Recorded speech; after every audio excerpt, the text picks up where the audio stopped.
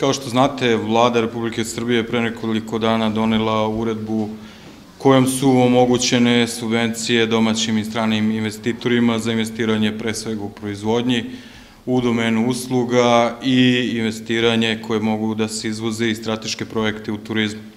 Uredbom je predviđeno da i pored e, privatnih preduzeća podsticaje za investicije mogu da dobiju i preduzeća u vlasništvu države, pokrajine ili lokalne samuprave, naročito a u saglasnost, u saglasnost vlade Republike Srbije.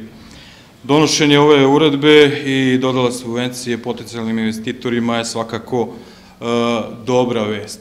Mi aktivno učestvujemo e, da rešimo taj problem. Ja moram da vas podsjetim da je na evidenciji službe za e, zapošljavanje 10.000 zrenjaninaca vodi se kao nezaposlenih. Mi znamo da je stvaran broj mnogo veći i to je e, i pored rešavanja zdrave pijaće vode, pored rešavanja ostalih komunalnih problema, nezaposlenost je najveći problem u Zrenjinu, nezaposlenost je najveći problem u Vojvodini i u celoj Srbiji.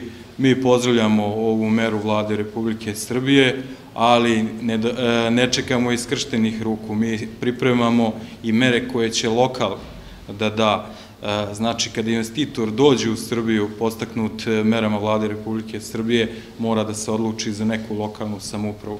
E, mi hoćemo tu da smo u prednosti, kao i što jesmo u prednosti. Nismo mi slučajno e, proglašeni za jedno od, naj, od deset najboljih mesta i najinteresantnijih mesta za investiranje u svetu po, po kriterijuma Financial Timesa. Pored, pored atraktivnog i komunalno opremljenog zemljišta, mi e, pripremamo set e, mera koji će biti predat Skupštini na usvajanje na e, prvom jesenjem zasedanju naše Skupštine u septembru i pre svega to se odnosi na cene komunalnih usluga, na cene taksi koje moraju da plaćaju kako domaći, tako strani investitori, a pre svega će se rukovoditi brojem zaposlenih koji ti investitori budu zaposlili i vrednosti same investicije.